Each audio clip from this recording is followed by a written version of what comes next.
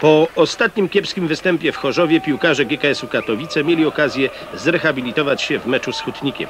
Jednak początkowo dwukrotnie Adam Kucz jakoś nie potrafił pokonać bramkarza gości.